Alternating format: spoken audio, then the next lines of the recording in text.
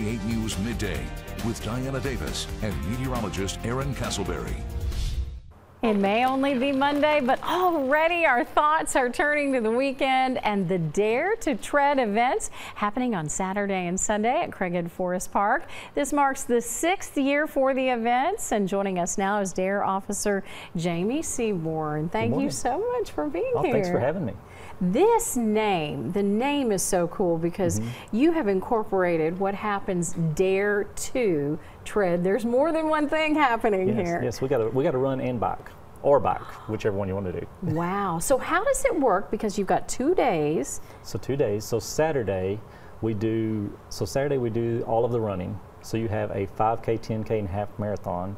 Uh, oh. Uh, so the half marathon starts at 8, and then 30 minutes later the 10K, and then the 5K and so it's it's a lot of fun. It's a lot to keep up with. Yes. and yes. then you know you've always had this fun mountain bike ride. Where does that fit in with all this? So mountain biking is always my passion anyway, uh, and I wanted to do an event where it's not a race and people just come out and have fun and we do it as a poker ride so that way they can win prizes. Oh, nice. Uh, and it's strictly for fun. We don't have a set course. If you want to ride really fast, I've got a guy that can take you and do the jumps, which I cannot. uh, and then if you want to ride really slow, you can go ride with me and we will go and take pictures and have a good time. And this all happens at Craighead Forest Park. You, mm -hmm. your job the uh, day before, like on Fridays, to get all this yes. mapped out, ready yes, to I'll go. mark every bit of the trails on Fridays. Now, so. it raises money for DARE. How, how does it make a difference to have this money coming in? So all of the money raised we use to buy our shirts and books and supplies for our kids. I mean, you don't realize until you get to buying pencils that you spend four to five thousand dollars just on pencils a year. Oh my! And uh, because if the class is good, we want them to have pencils.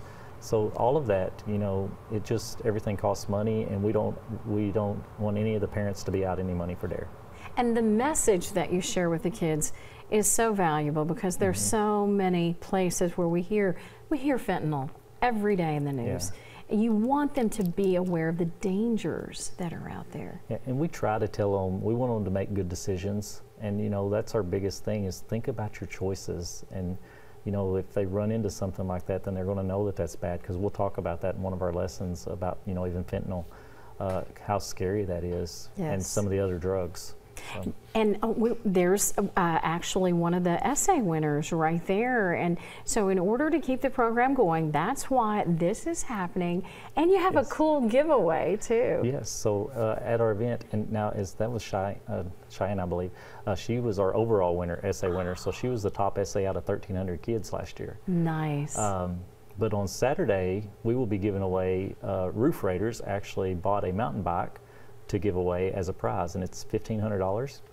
Um, so you have to be a participant in either the mountain bike or the run to win the bike, and you have to be present on Saturday. So if you are the Sunday, the mountain bike ride, you need to come Saturday. Yes. Someone needs to win that. That is so very nice. Yes. Officer Seaborn, thank you so much for joining us and well, thanks for having us. And I know you have a challenge for Aaron. Bring the nice weather on yes. for the Aaron. weekend. You have to bring the weather, Aaron. you know, I think